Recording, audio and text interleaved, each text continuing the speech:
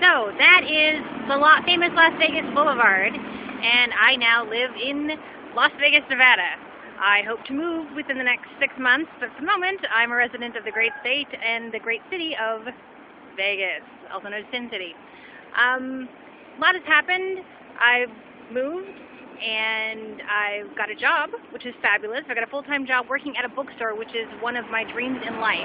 So I spend all day talking to people about books, recommending books, and reading all the books in the store because I can read them for free.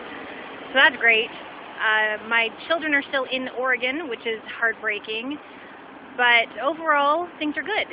I've got income, I have a job I like, I've got housemates I enjoy, and although I don't particularly love living in the middle of the Mojave Desert, Vegas is a very interesting place and I'm making friends, but I hope to go back to Oregon sometime soon. So sorry this is short. I'm making it on my phone. I tried to make it at home, but ran out of time to catch my bus. I've got about five minutes left to walk to my bus stop one of two to get to where I'm going. So I just want to say thank you for the video and for your concern. And I'd like to start posting again. I was having tech issues, one of which was easily solved with a driver reinstall. Hopefully I'll start posting YouTube videos again.